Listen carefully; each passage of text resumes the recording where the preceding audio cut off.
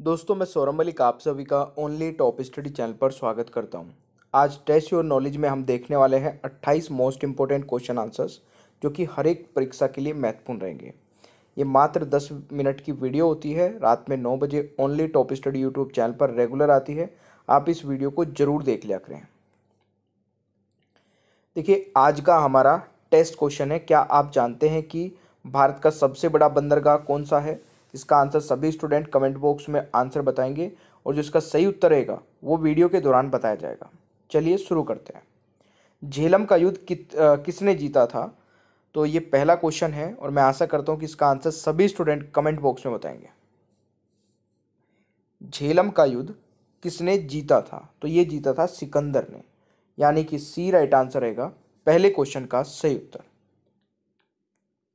दूसरा क्वेश्चन है आजकल ई बुक रीडर बहुत प्रसिद्ध है क्योंकि ये प्रयोग में आसान, हल्की और आँखों के लिए सुविधाजनक है। इनमें प्रयोग की गई विशेष इंक, यानी कि स्याही, कौन सी है?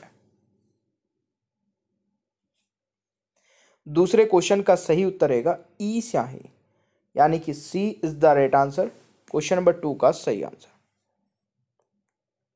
क्वेश्चन नंबर थ्री है, कौन सा शब्द समुदायों के कई पीढ़ियों में जमा पारंपरिक ज्ञान का सबसे अच्छा वर्णन करता है। क्वेश्चन नंबर थ्री का सही उत्तर रहेगा। लोक ज्ञान, यानी कि तीसरे क्वेश्चन का राइट आंसर ए हो जाएगा। क्वेश्चन नंबर फोर है, भारत सरकार द्वारा राष्ट्रीय हरित प्राधिकरण की स्थापना कब की गई थी? 2010 में दोस्तों, यानी कि क्वेश्चन नंबर फोर का राइट आंसर सी हो जाएगा। पांचवा क्वेश्चन है, अंतरिक्ष के लिए उड़ान भरने वाला पहला व्यक्ति कौन था? पाँचवें क्वेश्चन का सही उत्तर रहेगा यूरी गागरीन, यानी कि B is the right answer तो पाँचवें क्वेश्चन का सही उत्तर बी हो जाएगा। प्यारे दोस्तों, अगर आप लोग किसी भी कॉम्पिटेटिव एग्ज़ाम की तैयारी करते हैं तो आप हमारी मास्टर पीडीएफ को ले सकते हैं मात्र एक सौ सत्तर रुपये में। इस पीडीएफ के अंदर आपको सारे सब्जेक्ट मिलेंगे, पूरी लाइफ टाइम के लिए मिलेंगे, कितनी बार भी आप पढ़ सकते हैं। पीडीएफ का लिंक डिस्क्रिप्शन बॉक्स और हमारे व्हाट्सएप नंबर दोनों जगह मिलेगा। लिंक पर क्लिक करके पेमेंट करके आप पीडीएफ को प्राप्त कर सकते हैं। छठा क्वेश्चन है, निम्नलिखित में से कौन सा संपर्कहीन प्रोटोकॉल है? सही उत्तर रहेगा एच टी टी पी यानी कि छठे क्वेश्चन का राइट आंसर ए हो जाएगा। भारतीय संविधान का संरक्षक कौन है? तो सही आंसर रहेगा भारत के मुख्य न्यायाधीश। सातवें क्वेश्चन का राइट आंसर दोस्तों बी हो जाएगा। आठवां क्वेश्चन है गांधी जी को सबसे पहले राष्ट्रपिता किसने कहा था? गांधी जी को सबसे पहले राष्ट्रपिता मेरे प्यारे दोस्तों सुभाष चंद्र बोस जी ने कहा था। आठवें क्वेश्चन का राइट आंसर बी हो जाएगा। क्वेश्चन नंबर नाइन है, ऊर्जा का ऐसा ही मात्रक जे है और यह समतुल्य है। देखिए, ये जो लिखा है ना दोस्तों दस की पावर सिक्स, दस की पावर सेवन, दस की पावर सेवन, दस की पावर फाइव, ये एक सौ पाँच नहीं है मतलब मैं बताना चाह रहा हूँ कि ये पावर है इसमें। तो इसका जो सही उत्तर रहेगा, वो रहेगा ऑप्शन सी, टेन की पावर सेवन अर्ग। ठीक है, टेन की पावर सेवन, इस तरीके से। तो right answer is C. Question number दस है, भारत में सर्वप्रथम चलाई गई ट्रेन का क्या नाम था? सही आंसर रहेगा दोस्तों, black beauty. C is the right answer ग्यारहवा क्वेश्चन है, निम्नलिखित में से कौन सा अधिनियम परिषद को पहली बार के लिए बजट संबंधी मामलों पर चर्चा करने की अनुमति देता है?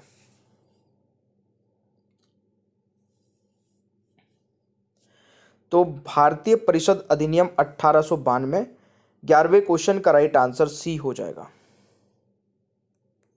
क्वेश्चन नंबर बारह है, निम्नलिखित में से कौन राज्य का एक अनिवार्य तत्व है? दोस्तों, राज्य का एक अनिवार्य तत्व है संप्रभुता, सरकार क्षेत्र, ये सभी। बारहवें क्वेश्चन का राइट आंसर डी हो जाएगा। यह आपको याद रखना है। क्वेश्चन नंबर थर्टीन है, गांधी जी का राजनीतिक गुरु किसे माना जाता है? गांधी जी का राजनीतिक गुरु किसे माना जाता है? क्वेश्चन नंबर थर्टीन का सही उत्तर रहेगा गोपाल कृष्ण गोखले जी। यानी कि ए राइट आंसर हो जाएगा।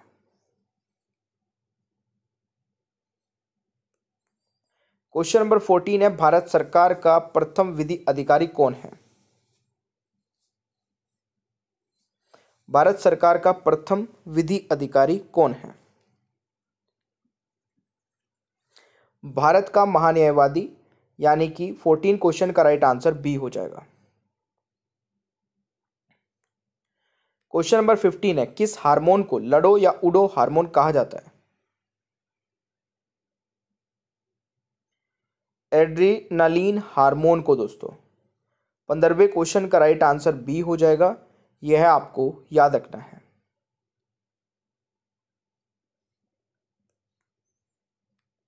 क्वेश्चन नंबर सिक्सटीन है, बाहरी कान का कठोर लचीला भाग किसका बना होता है? उपास्थि का यानी कि C is the right answer. Bharat में सर्वप्रथम रेल की शुरुआत किसके शासनकाल में प्रारंभ हुई थी? सही उत्तर रहेगा लॉर्ड डेलोजी के शासनकाल में। सत्तरवें क्वेश्चन का राइट आंसर सी हो जाएगा। यह आपको याद रखना है। अठारवा क्वेश्चन है, स्वतंत्र भारत में, निम्नलिखित में से कौन सी महिला किसी राज्य की पहली राज्यपाल थी? अठारहवें क्वेश्चन का सही उत्तर रहेगा सुचिता कृपलानी, यानी कि B is the right answer question number nineteen है कौन सा राज्य भारत के सबसे पूर्वी भाग पर स्थित है? दोस्तों, सही उत्तर रहेगा अरुणाचल प्रदेश, यानी कि A is the right answer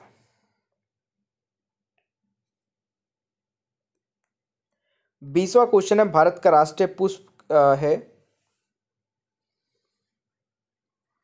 तो सही उत्तर दोस्तों कमल हो जाएगा, यानी कि A is the right answer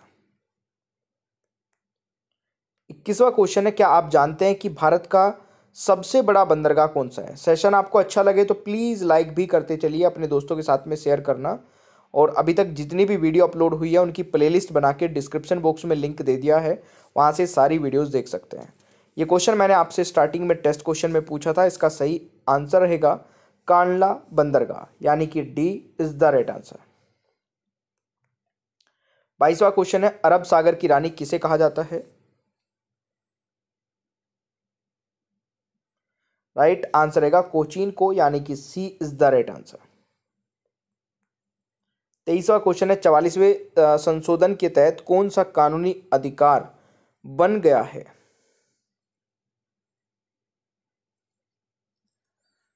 संपत्ति का अधिकार दोस्तों, यानी कि बी राइट आंसर रहेगा। क्वेश्चन नंबर ट्वेंटी फोर है, निम्नलिखित में से कौन भारतीय संविधान के अनुसार मौलिक अधिकार नहीं है?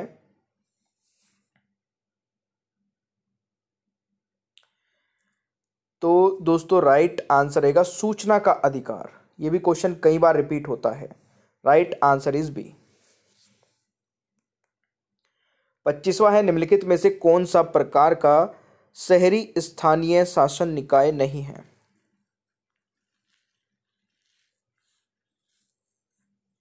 राइट आंसर रहेगा जिला परिषद, यानी कि B is the right answer.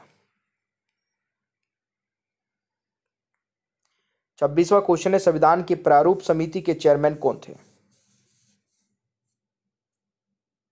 Doctor Bhimrao Ambedkar ji, यानी कि A is the right answer. विश्व पर्यावरण दिवस किस दिन मनाया जाता है? दोस्तों, सही उत्तर रहेगा पाँच जून को, यानी कि C is the right answer. अट्ठाईसवा question है, किस भारतीय राज्य में सर्वाधिक क्षेत्र में वन स्थित है? तो अट्ठाईसवें क्वेश्चन का सही उत्तर रहेगा मध्य प्रदेश, यानी कि D is the right answer. तो देखिए, अट्ठाईस में से आप लोगों ने कितने क्वेश्चंस के आंसर सही किए हैं, कमेंट बॉक्स में अपना स्कोर बताएगा बाहरी कान का कठोर लचीला भाग किसका बना होता है, ये आपके लिए टेस्ट क्वेश्चन रखा गया है। इसका भी आंसर आप सभी को ट्राई करना है और कमेंट बॉक्स में बताने की कोशिश करनी है। सेशन आपको अच्छा लगा है तो लाइक शेयर कर दीजिएगा। चैनल पर नए हैं तो सब्सक्राइब भी ज़रूर कर देना ताकि आगे आने वाली कोई भी वीडियो मिस ना हो। और मास्टर पीडीएफ अभी तक नहीं ली है तो मात्र एक सौ में दोस्तों ओल्ड सब्जेक्ट की मास्टर पीडीएफ आप प्राप्त कर सकते हैं। और मास्टर पीडीएफ का लिंक डिस्क्रिप्शन बॉक्स और हमारे व्हाट्सअप नंबर दोनों जगह मिलेगा। लिंक पर क्लिक करके पेमेंट करके आपको पीडीएफ प्राप्त हो जाएगी। ठीक है? मिलते हैं नेक्स्ट क्लास में। Thank you so much bye bye everyone